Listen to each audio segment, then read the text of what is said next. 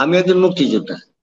আমার যদি বিএনপি ক্ষমতায় যায় বা জামাতা জায়গার বিএনপি মিলে যদি তার রাষ্ট্রীয় ক্ষমতা যায়, আমার চোখের সামনে যখন ওই পতাকা নিয়ে যখন রাজাকার ঘুরবে, তখন আমি যে অস্ত্র হাতে নিয়ে দেশ স্বাধীন করলাম, তাহলে আমার বেঁচে থাকার কোনো অধিকার আছে? তারাই যদি দেশ শাসন করে, তাহলে আমার আত্মহত্যাই তো ভালো ওদের সামনে। এই এই লজ্জা পাওয়ার চেয়ে যখন আমাকে বলল এই মুক্তিযোদ্ধা, আরে বেটা, আগে তো দাঁত মারছিলে, বন্দুক লেগে করছিল, এখন কই আয়? ফখরুল সাহেব নিজেই তো রাজাকার তার বাবা রাজাকার ছিল। আপনি সেটি কীভাবে বলছেন? সেরকমের কোনো প্রমাণ আছে? এলাকার লোকেরাই তো মিছিল করছে স্লোগান দিছে তারাই তো স্লোগান শোনাইছে। তারাই তো নানান মিডিয়াতে তারা বলছে যে রাজাকার ছিল ফখরুল রাজাকার ছিল তার বাবা রাজাকার ছিল এবং বাবাকে মানুষের দাওয়া দিছে। দাওয়া দেওয়ার পরে সে আত- আত্মগোপন করে চলে গেছে।